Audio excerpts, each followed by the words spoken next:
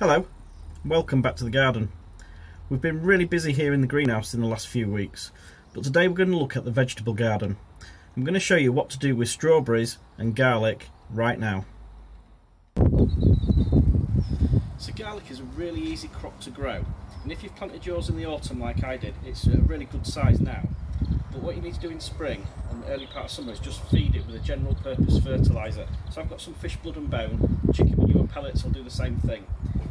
But throughout the winter they'll have taken up the goodness out of the soil and any of the rain that you've had will have washed any others away. So you really need to feed it just to give it that best sort of continuing growth really. So what you need to do is just sprinkle some of the pellets around.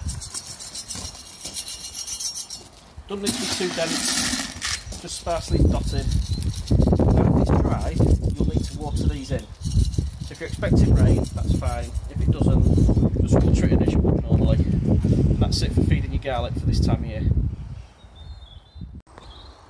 Okay, so strawberries. Now's the time of year you just need to get these ready for the, the crop you're going to get this summer. So, any of the dead growth, any brown leaves, all we need to do is be snipping them off. To take out any of the dead stuff give it a general tidy up as well. If there's any weeds growing in your bed or the basket, just take the weeds out as well. But it's just basically anything that's brown and died back, um, just take that out.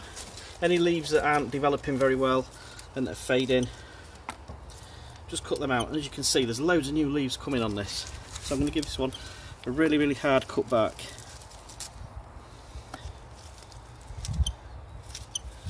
Now I'll finish this off in a minute, but the, the next bit you need to do for your strawberries is give them a feed.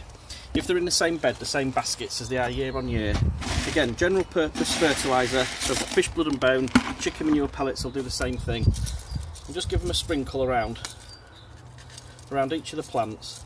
And all that's to do is just feed that soil because they'll have used all the nutrition up last year. Once that's fed again, same as with the garlic, water it in if it's not raining. If it does rain, leave that just to drain it in that's all you've got to do for your strawberry care. Well, that's it for today.